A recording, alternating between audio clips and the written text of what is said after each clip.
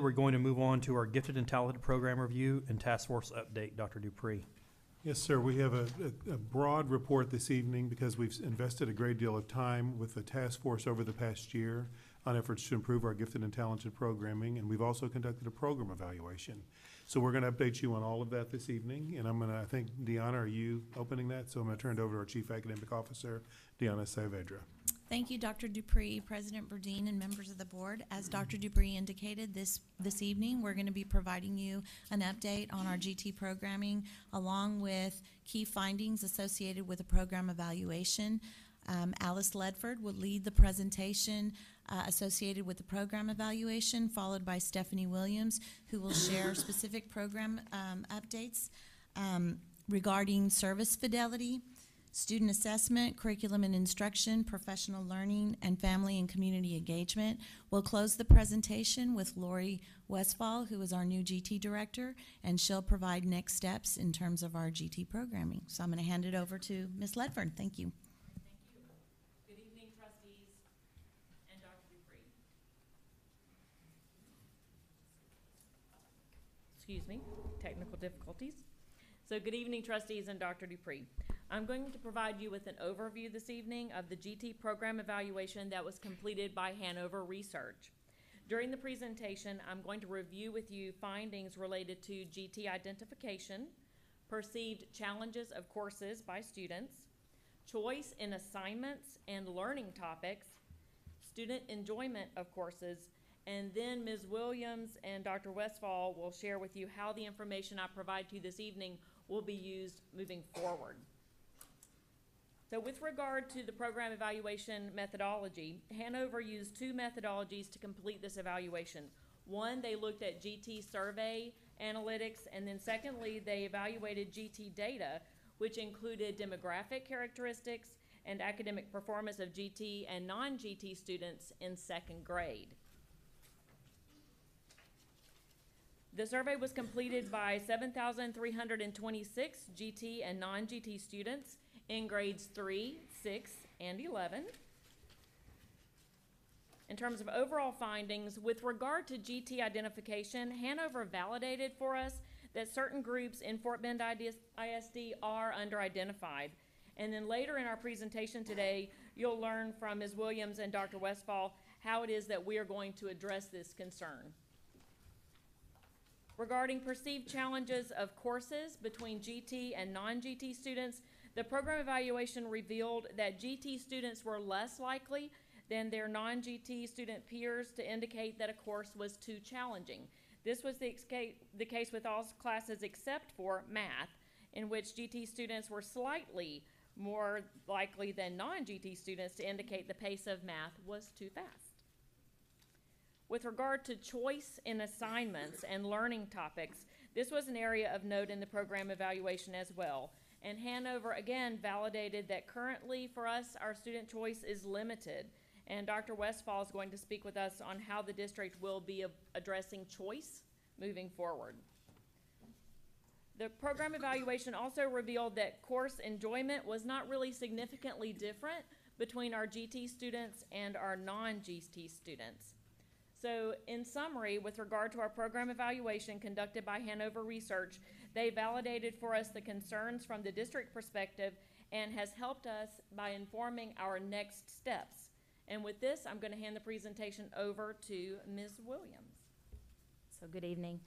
As Dr. Ledford shared, the Hanover um, program evaluation provided information specifically around the identification of GT students, needs related to that, and then instructionally around challenge, choice, and enjoyment of our GT students. So I'm going to give you background now on the work that's been done, and I'll hope to make some connections among the program evaluation, our initial steps, and the next steps that we have for 1920. So beginning in 2017-18, we launched a GT task force, and I want to take this opportunity to recognize members of the task force who are here with us this evening on the work that they've done around the planning framework and recommendations. At this time, would you please stand, the GT task force? Thank you for being here tonight. As the GT task force engaged in learning, they identified best practices that would be part of our plan, which would represent goals. And then um, during the eighteen nineteen school year, the task force created task maps to detail actions for each of the next five years in order to meet those goals. Related to implementation, it was important that those goals align with the Texas State Gifted and Talented Plan. And um, on the next slide, I'll share with you the components. So the Texas State GT Plan outlines components that um, are part of an effective gifted and talented program for students. They are service fidelity, student assessment, particularly related to identification, curriculum and instruction supports, teacher professional learning, and family and community involvement. The next series of slides detail the initial actions that have been taken by the GT team in order to address each of these components. Related to service fidelity, last year we adopted EHBB Local, which outlined changes in our gifted and talented program, and the, the regulations for this policy have been developed and are im- being implemented in the nineteen twenty school year. Part of those regulations define gifted and talented learning plans for each individual student, which will also launch in the nineteen twenty school year.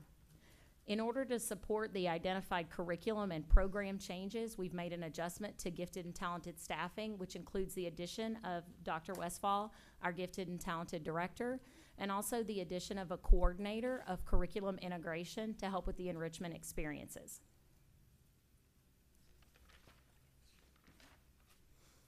Related to student assessment, as Dr. Ledford shared in the program evaluation, we have some work to do around identification specifically of underrepresented students.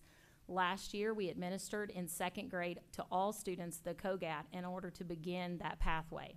This year, we are defining local norms, which are better described as criteria that can be used to increase the identification of gifted and talented students in those underrepresented areas. Related to curriculum and instruction, the Texas Performance Standards Project provides projects that are cross-curricular that can be used to address challenge, choice, and student engagement of gifted and talented students. In the spring, in collaboration with the Teaching and Learning Division, those projects were aligned at grade levels because they come in grade bands like K2. During the summer, we've been integrating those projects into the curriculum workbooks and they're ready for, um, they'll be the first phase of curriculum enrichment that our teachers have in order to support gifted and talented learners. We also made changes to professional learning in order to address and equip our teachers. As you know, all teachers participate in 14 hours of required professional, professional learning, and teachers of gifted and talented students um, also do six hours of a GT update. This year, we required three of those hours be in district because we wanted to outline the new structure of GT programming and provide messaging related to the GT learning plans and the TS, TPSP projects that are being integrated into the curriculum.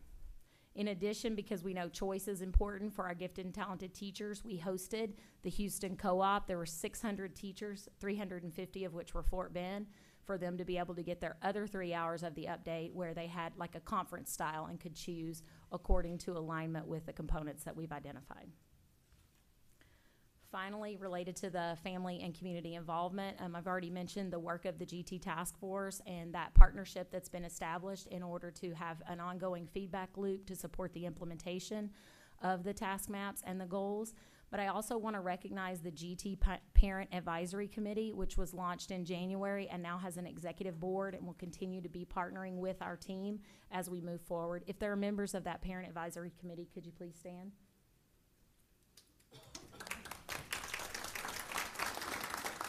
And Finally, related to family and community involvement, I want to highlight uh, one of the first actions that the GT PAC took, which was to host our first annual parent symposium. And the beauty of a parent symposium is that it's hosted by parents for parents, and so they're hearing from other parents who have students in similar need, and they're able to learn from each other. At this time, I want to, um, maybe this is your first introduction to Dr. Westfall, and I want to allow her to outline the work that will go forward in 1920 in order to achieve um, the goals that have been set.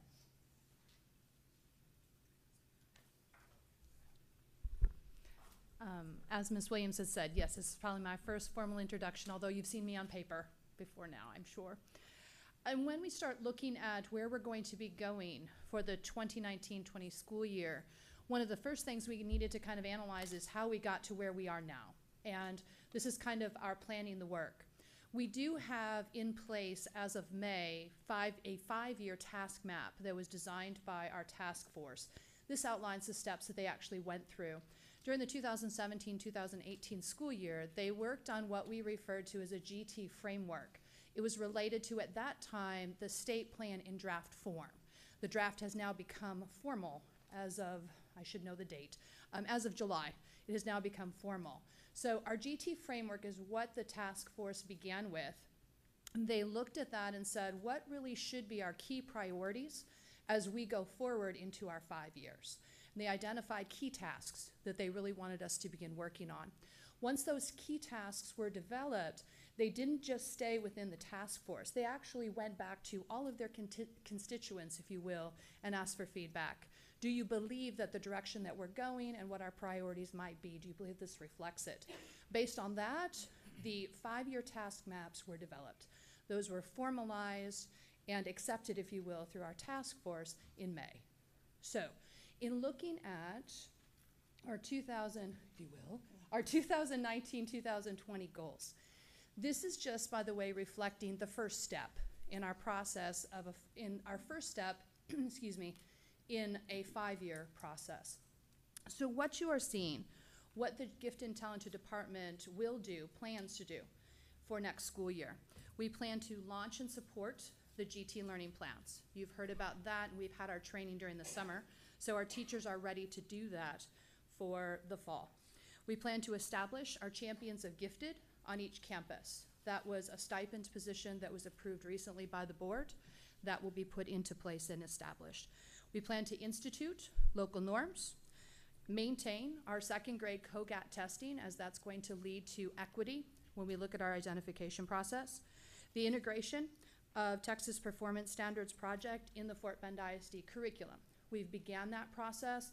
We need to continue so that we know that it's being implemented in the classroom. We're going to pilot power hours to enhance student enrichment opportunities, investigate and design our secondary GT curriculum, which is one of our needs, and then we plan to distribute monthly, monthly newsletters and promote monthly parent series in order to address our parent engagement.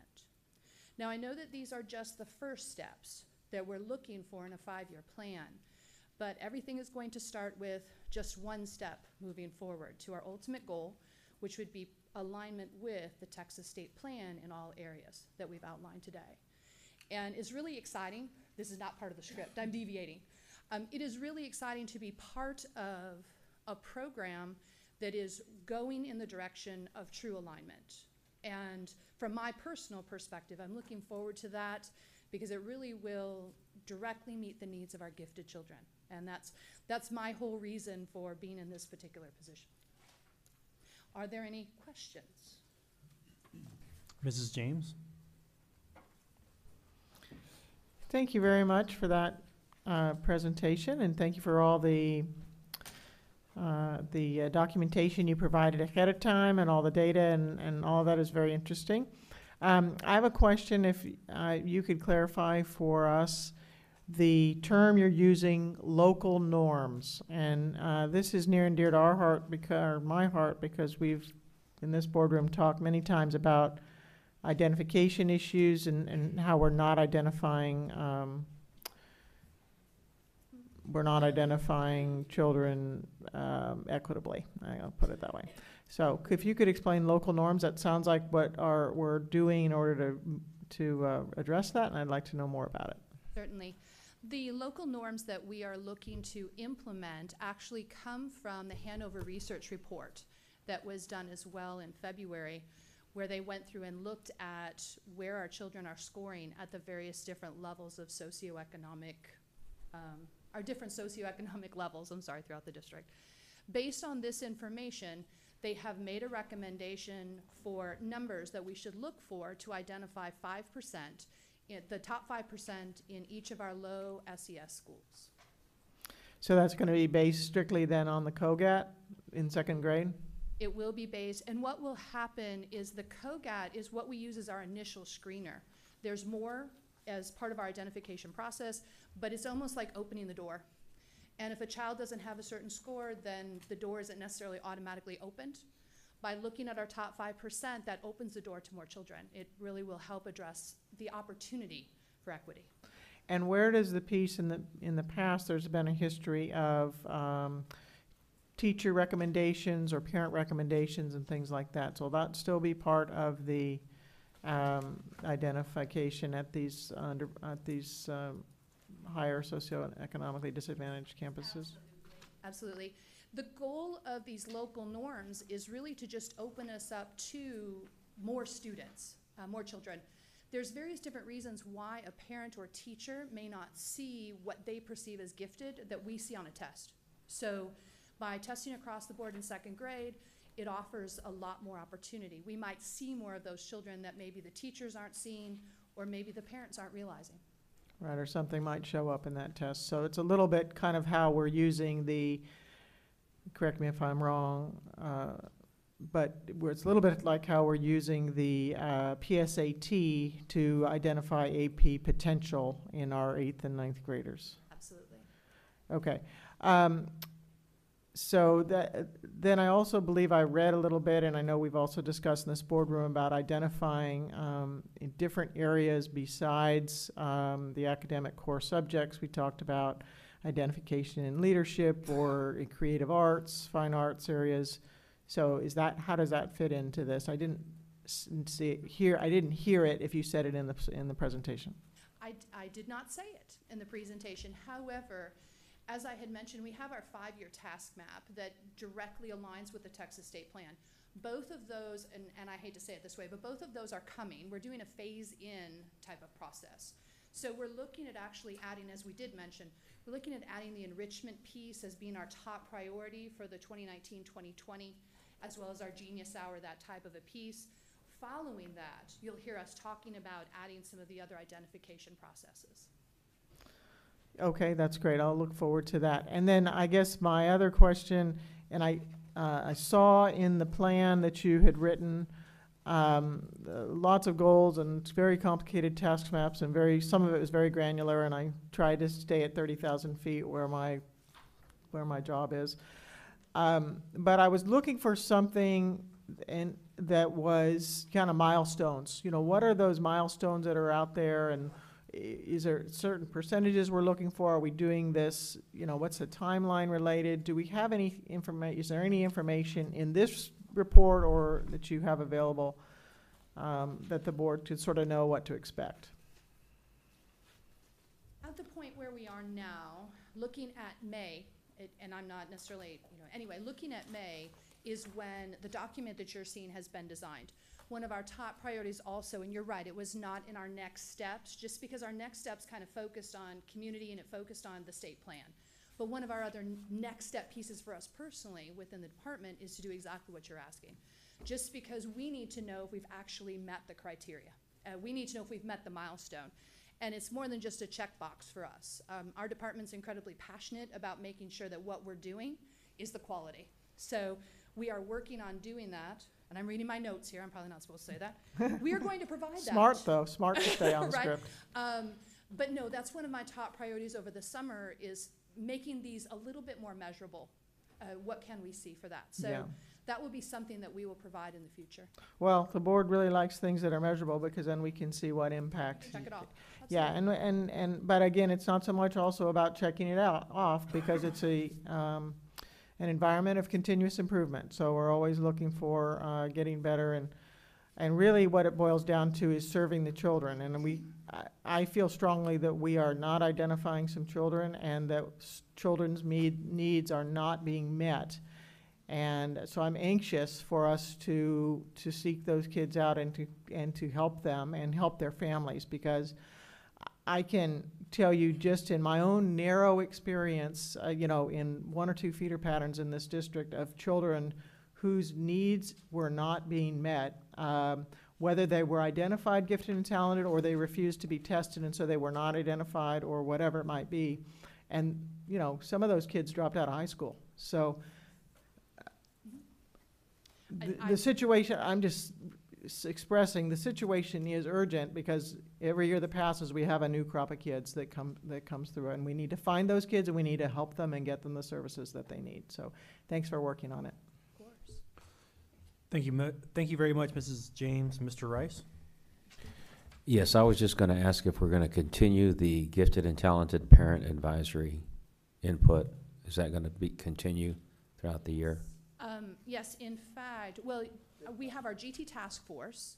They're the ones who worked on our five-year plan. They will be working with us as well, at least the next school year, if not more than that. Just because they understand the five-year plans incredibly well. So they will provide good feedback for us as we start working on our milestones and what that might look like. The GT pack itself has just been developed. We have our bylaws, we have our executive board. That's hopefully gonna be around for much longer um, just because those are going to be some of our key people when we look at our family and community involvement. So when you say much longer, it should be, Sorry. it should be around, as long as we have the G and T, long-term. Long-term, Yes. and they'll be meeting monthly. All right, Yes, all sir. right, It's a permanent fixture for our department. okay. Thank you. Thank you, Mr. Rice. Mr. Rosenthal? So to follow up on that, will, will either of those um, committees um, ever get to discuss uh, their work directly with the board? Because I think that would be interesting to hear from time to time. That's certainly something that we could entertain. And so, I, yeah, I, I, I like the idea of, of, of those committees, uh, because they're on the ground, and I think they'd be the first ones to know what's working and what's not. Um, and I think that's why that would be important for us to hear that, that feedback, uh, whether either directly in this room or via some kind of report or something. So, um, my biggest concern with, with, um, implementing this, obviously it needs to be implemented, uh, is uh, making it as easy as possible for our teachers. Because from my, my big one-year experience, you know, I had a couple classes with GT kids, and uh, that was tough, trying to create things that were different, that were, you know, you get, trying to give them choices. We tried, wasn't always doable. Um, but to me, that's where we really need to have a lot of support. Uh, because, um, they're the ones in there and, you know, it's already a tough job. And now you're making, we're having to make sure that, that they do the right thing. And so they need the help. They need that support. And so, you know, you had mentioned that, you know, we have, um, um, where was it? A coordinator, uh, Champions of Gifted Services. So are they at each campus? They are. Each campus did Okay. identify. Okay, good. All right. Okay, that's all. Thank you. Thank you, Mr. Rosenthal. Mrs. Tassin, did you have any questions or comments? Yes, thank you, Mr. Burdine. Um, I want to start by agreeing with Mr. Rosenthal and reminding um, everyone that we have talked in the past about using Schoology for modifications and suggestions of uh, assignments for our special education kids as well as our kids who are identified gifted and talented. So I, I just wanted to remind us that we've had these conversations in the past. I agree with Mr. Rosenthal. We need to do all we can to support our teachers in this effort. And now that we have the Schoology platform, I think we have a really good way to do that um, by posting whether it's videos or suggestions or suggested ways to modify work for kids, kids who are identified gifted. Um, so I just wanted to throw that out there at the outset. Um, I also agree with Mr. Rosenthal. I, I want to thank the administration for continuing the task force. I think it's something that the board thought was important, and um, for also creating the Parent Advisory Council. Um, having been at the beginning of the Special Education Parent Advisory Committee, I think um, it's going to be really important for us to. Um, I agree with Mr. Rosenthal. I think we need to hear from them. Uh, as a board member, I, I want to hear from the GT Parent Advisory Committee. I want to hear from the Special Ed Parent Advisory Committee members. Um, I think it, we've, uh, I've seen the Special Education Advisory Committee evolve um, to where they are used more effectively. Um, I, I think we need to make sure that we're utilizing these committees in a meaningful way. And um, the only way we can do that is if we get input from them uh, for what should be on agendas or what should be discussed or what they think is critical uh, or is a priority. So I just um, would like for us as a district to keep that in mind. As I've seen the special education committee evolve, um, you know, they've now got some officers elected and the parents who are really involved are bringing things to the district. Um, and I, I think that that's a meaningful way to use these committees. And as a board member, I would like to hear from them. Um, so I, I'm going to second that, um, Mr. Rosenthal. Um, I also want to say, uh, you know, I'm, I'm a parent of a, of a child who's in special education and a parent of a child who's identified gifted. So I just want to remind us that, uh, you know, I read the, the evaluation. Not all gifted students are overachievers. Um, and, and I just want to, I, every time we talk about GT, I, I remind us of this, that some kids are gifted and do not do well in a classroom setting. Um, and I think that's part of why we're seeing the kids come back and say math is really challenging. Um, they're using a lot of worksheets in the math classes. There's not a lot of creativity. And by and large, our gifted students are creative thinkers. Um, I've got one in my house. Ironically, she didn't test gifted in the subject where she really is most gifted because we, like Mrs. James said, we just stopped testing. Um, so I just want us to remember that when we talk about gifted students, we're talking about the way kids process and think and learn. And I know you guys know that, but I don't want us to always think gifted students are, we're going to see them as overachievers in the classroom. Um, we have a lot of gifted students who, when we get to the middle and high school um, areas, they're in the, they're taking the pre-AP classes and the AP classes because that's really all that's offered to them as an identified gifted student. And that doesn't mean that they're going to be overachievers in those classrooms. If we're not meeting their needs and accommodating and modifying for them in ways that are meaningful and that meet them in the way that they process, then we're we're going to be spinning our wheels for nothing. So I just wanted to say that again because I, I, I do try to remind us every time that it's um, they're not always you know overachievers and GT kids don't always test well either.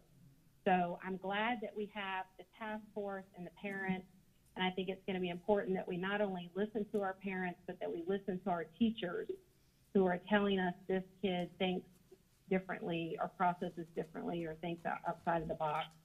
Um, and then I, I'll go back to what Mrs. James said. I want to agree with her that I think our goals have to be measurable.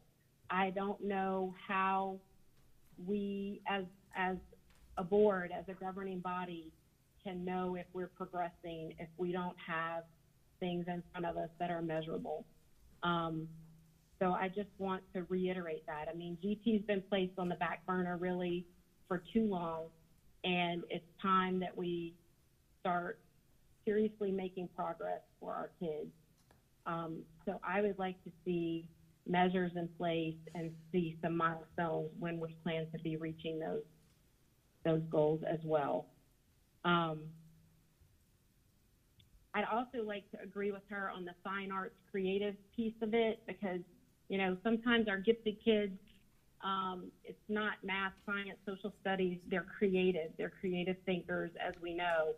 Um, I personally um, have thought quite a bit about our kids who are creative and who go the fine arts route, and they're taking those fine arts courses, but we're not giving them credit for them like we are the AP and pre-AP courses. I have a real problem with that. I have a real problem with that as a board member. I have a real problem with that as a mom. As a mom, um, you know, I, I have one right now who's taking three fine arts classes, um, and it's because that's where she is gifted. So I think we need to maybe rethink um, the credit that we're giving our students, especially those creative minds and those creative uh, kids who should, who put in as many or more hours um, as the academic classes. And uh, we've got to recognize that, um, that, you know, those students have a future in those areas, and we've got to help facilitate and support that um, in, in the classroom in our schools. Um, I, I want to thank the administration for going through the evaluation. I want to thank you guys for all the hard work. Um, I, I want to reiterate that in the middle and high school level, we're not there. Um, we're not. Uh, I, I'm seeing more in Thornton now because we've got a new school and a new principal, and we're doing kind of some new and innovative things there. But I know it's not in our other secondary schools. Uh, so I look forward to seeing, you know, how we continue implementing there and making sure that we have some milestones in place uh, for those students. Um, and that's really my, most of mine were comment, more comments than questions, and I just wanted to really um, stand with my colleagues on some of the things that they said. So thank you. Thank you, Mrs. Tassin. Mr. Rosenthal? Yeah, I have a couple of follow-ups. So, uh, Ms. Tassin, that, uh, I, I actually was gonna ask about what, what the rationale was for GT students, um, seeing math as more challenging, and I think you provided probably a good explanation. Uh, is that, would you agree with that? Specifically in the report, they mentioned the pacing of mathematics more than they mentioned what's Right. going on in the mathematics classroom. Therefore, I would attribute that to where most students enter those mathematics courses in middle school, where we're doing a year and a half of content in the course in order to advance them to algebra. And so the specifics of the report detailed the pacing Okay. more so than the learning experiences, though I know that the learning experiences can always improve. Okay. And then, um, I also found it interesting in the report about the, you know, you spoke a lot about high achievers versus GT. And, um, there was a twenty-seven percent number in there somewhere. Uh, I think it was, uh, the group, may have been, I don't remember exactly what it was, but it sounded like they, there was twenty-seven percent of, of, you know what, it's probably the Asian population. And it talked about receiving GT services. Was that, did I read that correctly, or was that, were they identified, yeah, I don't, I don't remember. I would have to go back and look at the report Okay. to find that specific statistic and get Okay. back to you. Because that's not, I mean, tell me again, it's like eight to ten percent of, of the population is typically GT, is that correct, somewhere in there? Statistically speaking, it's around five to six percent. Okay. If you look at a bell curve of the nationwide, it's two point five percent, but Okay. most districts identify five to six percent. Because that's, I, I had always thought it was much lower, and then I, I brought that up probably a year or so ago when we talked about this, and somebody said, no, it's higher than that, so that's, okay. So, I think we need to make sure that, that parents really need to understand, okay? Your kid may be a high achiever, but that doesn't mean that they're GT. So I think there needs to be, I talked about this last time we, we had this conversation, w- there needs to be some learning and, and that, that happens, you know, in the community, on, in, in the parent realm. So, and then, just so you hear it a third time, uh, I also agree that, um, there, there does need to be some measurables in this plan, and, um, I would love it if you would take that back, that message back to the GT task force, and just try to brainstorm, you know, what, what could we expect to see, or what might we expect to see, or what might be a goal in year one, what might be a goal for year two? Um, and, and it, it, it may change a little bit as, as things develop, but I think there should be initial, some initial measurements. So I think that's really important. So, thank you. Thank you, Mr. Rosenthal. I just had a, f- a few really quick questions here before we move on um, about the professional learning involved. So, if I heard that correctly, it was on slide 23. Um, our teachers have 14 hours of um, mandatory professional learning. Is that correct? And then on top of that, they have a six-hour GT update. Which did I hear you say three of that is done in in district and three of those hours are done out of district? So every year, there is a six-hour compliance-based GT update, and that is in addition to the fourteen hours. This year, we included three of those hours in district because we wanted a common message around the changes to GT programming. This is the first year that we've put that parameter on the update. Okay.